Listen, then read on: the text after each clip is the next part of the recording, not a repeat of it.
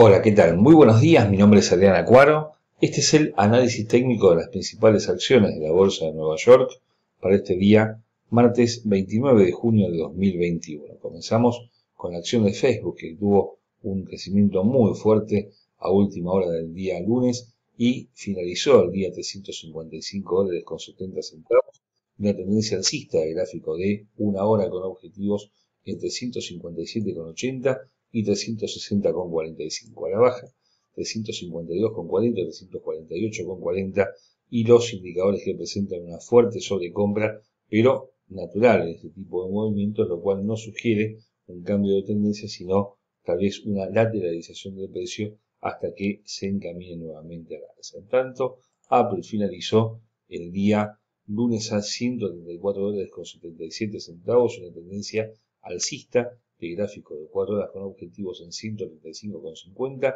y 137,10 los máximos del día 29 de abril. A la baja 133,40 y 132,05 esta línea de tendencia enmarca el movimiento de la acción que tiene además indicadores que en todos los casos favorecen un crecimiento adicional de la misma.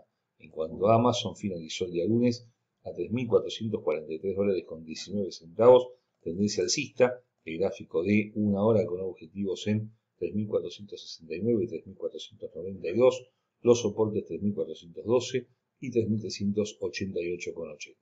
Los indicadores salen de abajo y vienen dando señales muy claras al alza, promocionando ganancias adicionales para Amazon durante la sesión de martes, con lo cual recuperaría parte de sus pérdidas de la semana anterior. En cuanto a Google, finalizó el día lunes a 2.000 450 dólares con 82 centavos, tendencia lateral de gráfico de una hora con objetivos en 2460,60 y 2474,75, los soportes 2440 y 2430.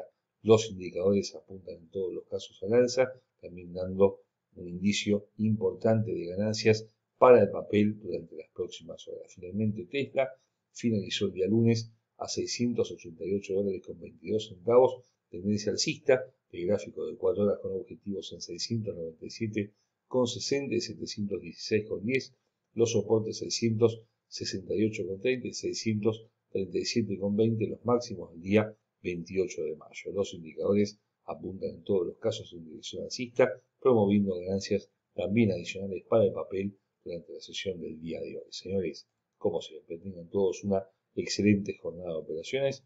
Nos vemos mañana miércoles.